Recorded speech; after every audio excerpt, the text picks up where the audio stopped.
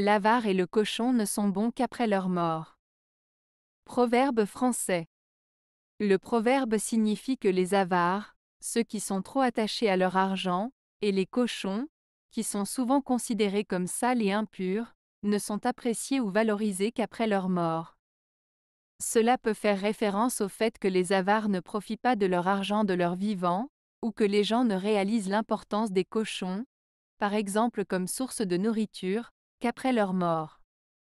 Le proverbe souligne donc l'importance de profiter de la vie tout en étant conscient de la valeur de chaque être vivant.